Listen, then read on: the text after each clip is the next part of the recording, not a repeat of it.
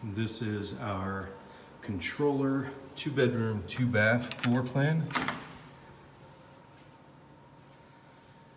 Walk in and just off the entry to the left is your first full bath.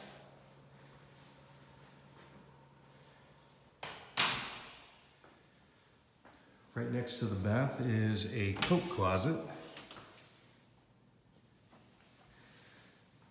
And then across from the bath is the first of two bedrooms.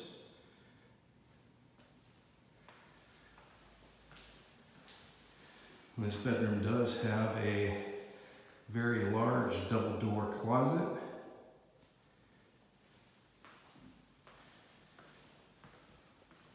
Walk back out to an open living room kitchen area.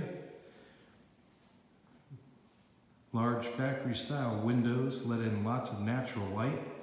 You've got the tall ceilings. Walk over here to the kitchen. You've got tons of cabinet space and counter space. Stainless steel appliances, granite countertops, and a tile backsplash.